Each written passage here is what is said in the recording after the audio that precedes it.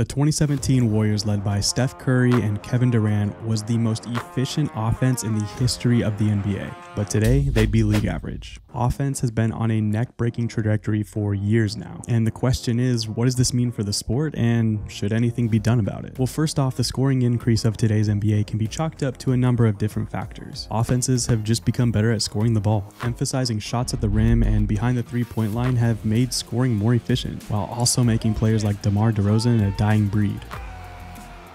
Another factor is a bigger talent pool with international players dominating the league. There truly is better competition than ever before. But there's also been a deliberate, systematic change over the years by Commissioner Adam Silver to deliver an optimized, dopamine injected product tailored for the average consumer. But the concern of many is whether this high scoring and optimization is coming at the cost of the very essence of the sport.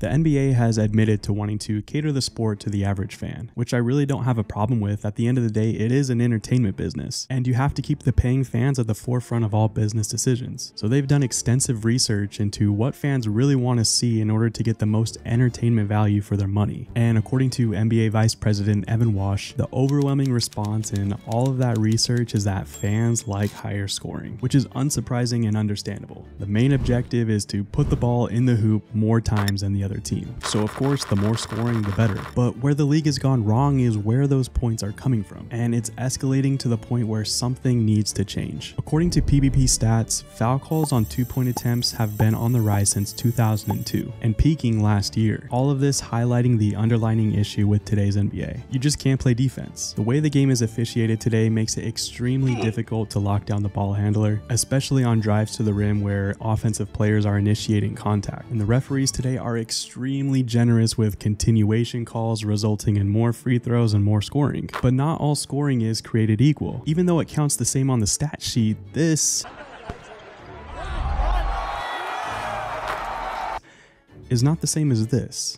Counting out the, the second. I don't think he was the holdup that time. And I'll be the first to admit it, I also have a monkey brain and I like to see the ball go through the hoop from really far away and hear the fun swishy sound. And the average NBA fan prefers it too. From 2013 to 2018, the Golden State Warriors franchise value increased from 1.3 billion to 3.5 billion. And I bet you can guess what happened in that time span. Curry, way downtown. Bang! Bang! Oh, what a shot from Curry! What I don't like is as Steve Kerr refers to it, parade to the free throw line. which unfortunately has become more and more of a problem and players have made it known. the single play that led me to lose my mind where the offensive player is parallel to the paint. They're not even veering towards the rim.